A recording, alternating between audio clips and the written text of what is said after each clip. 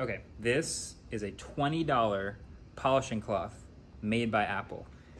Why is it $20? I mean, I'm sure it cleans super well. You can clean Apple devices and they're very shiny. But what's funny about it is, you know, you can clean the Pro Display XDR with it, but on their site, there's a compatibility chart and it's a microfiber. You can clean anything with it. But we noticed it actually stops right below the iPhone 6 and the iPhone SE.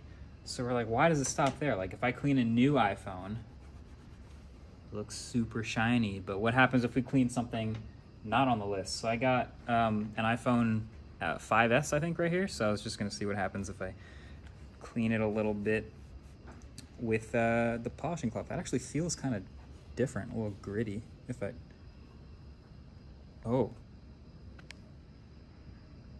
oh wow, that that's not good. Huh.